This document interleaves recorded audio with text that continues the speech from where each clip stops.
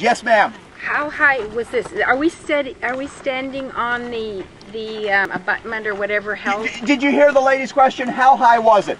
We can tell to a degree because where we're standing was almost dry ground, except the water was flowing on the other side of the road and coming down the wash. And we see how back where Vicky's at, we can see the debris and how it washed clear.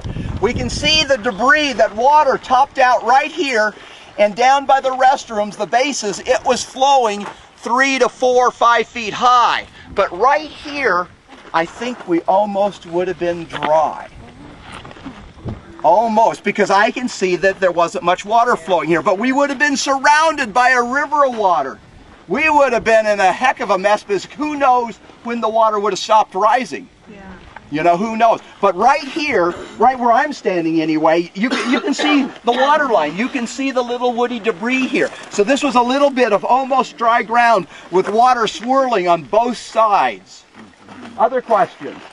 How much do they anticipate the repair costs are? Right, your, your tax dollars are going to repair Highway 190. What we're told is about $15 million. That's almost a million dollars a mile. So there's about 13 miles of pretty devastated road here that uh, most of you saw the different sections of pavement, right? You saw some of the old pavement was down below. We can see that when we go further too. We'll see the pavement up above us and halfway below we'll see another section of black pavement from an older road. When they rip out what remains of the road, my understanding is they're going to set the road lower it will be more susceptible to smaller floods, but they're anticipating it would just drop gravel on top of it, and they can clear gravel off easily. Whereas this road was totally devastated and undercut, partially because it did set so high. And as you look, notice they have a lot of what's called riprap. There's other names. It's big metal sections that have rocks in between. It's meant to protect portions of the roadway. In previous floods, that riprap worked really well.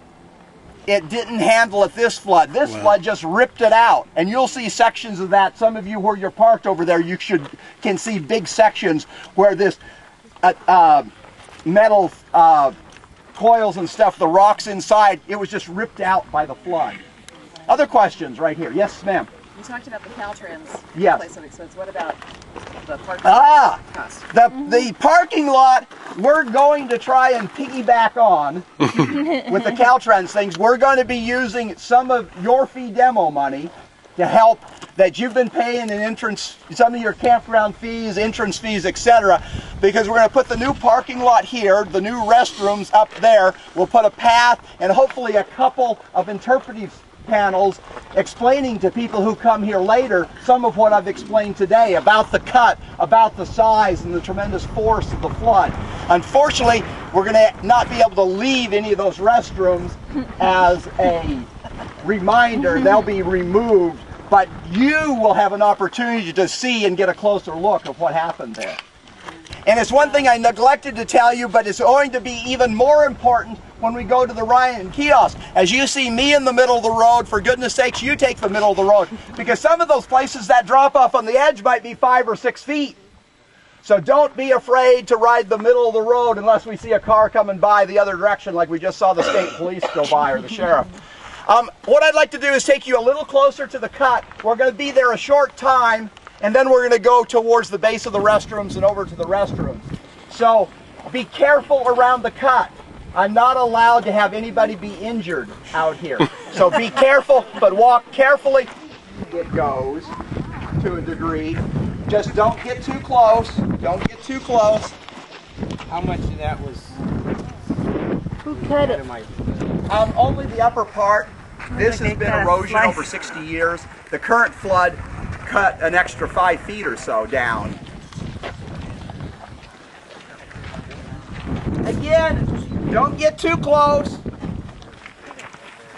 This is the cut. When they cut it 60 years ago, they cut the top here, they diverted the water. The water's been eroding through this solid rock for 60 years. The most recent flood cut about five feet deeper. And you can see the beautiful spirals, the color of the natural layers of this old lake bed sediment. This is part of the Furnace Creek Formation for you geologists. And this cut goes down another 30 feet here. So again, don't get too close to the edge, but you can see what's happened and you see how narrow it is. Even though it could take all the previous floods for the last 60 years, this one was too big. We also noticed the different color of material down here. There was a smaller rain event. September 11th, we had big floods to the south, and we got a little bit of rain here, and a mud flow came out of 20 Mule Team Canyon. And this, the tan colored mud flow, came from September 11th. But the August 15th flood is what it cut it down dramatically and what went through the cut here. The question was the time frame for getting things fixed to stuff. The governor has signed the bill.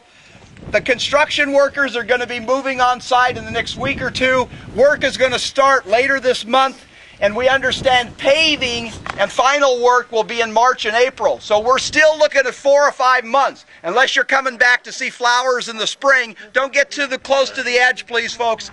But unless you're coming back in the spring, Highway 190 won't be open until then. Other, yes, sir. How long it take the water to recede? That's a good one. How long did it take the water to recede? Unfortunately, I wasn't here long enough to know for sure, but the best estimate is three to five hours. Three to five hours. Grab your last photos, and I'd like to show you some fascinating things right here by the base of the restrooms. Look at how they're off center. What happened? How did this happen? Where's my hydrologist and budding geologist? Somebody in there? Everybody wants to know if there was anybody in there. I'll tell you, luckily those vehicles left and nobody was hiding in the restroom. That would have been a heck of a place to be. I don't think anybody was in there. It wasn't smooth. Now, I will tell you one thing.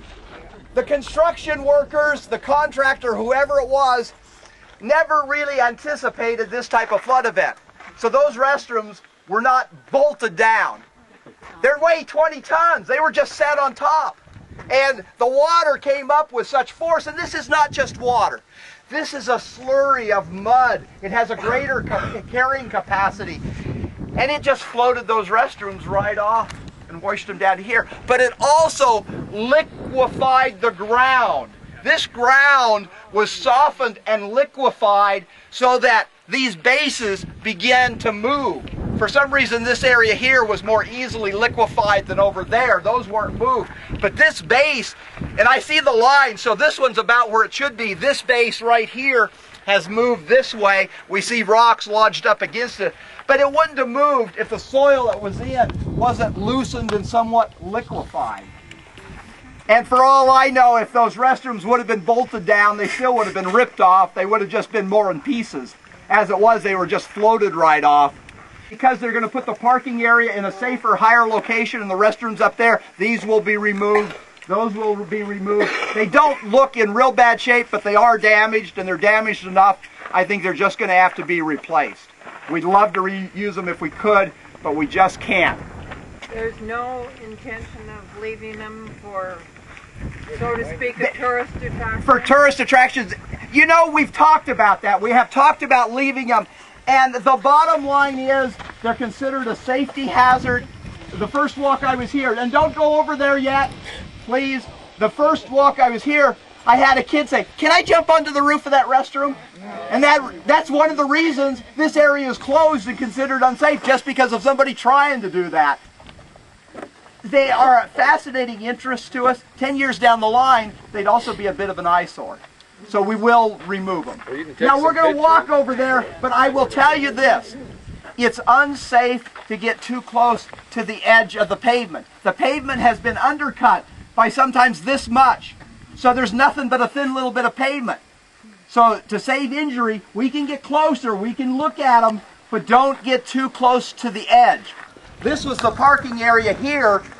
It was swept free of everything, but the water went through there. But we can see the effect of the swirling water because this used to be level out here. So realize this has been cut here. This has been cut five or six deep, five or six feet deep as the water swirled and eroded this away. This was cut down to bedrock right here. And those restrooms went kerplunk and just were pushed a little bit. And both of them have three or four feet of mud and soil inside. Though, as I said, take my word for it, one of them still has the toilet paper in place. Other questions while we're here? You do see a bit of a high water line here, just beyond the fence that wasn't ripped out. We can see all the woody debris.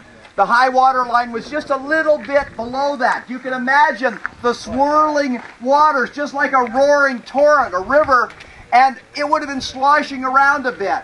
And as it sloshed up the side, the woody debris would have been washed out. So the high water is just a few feet below. You can see where that one rock was deposited. That's near the high water line there. So that is a pretty good flow.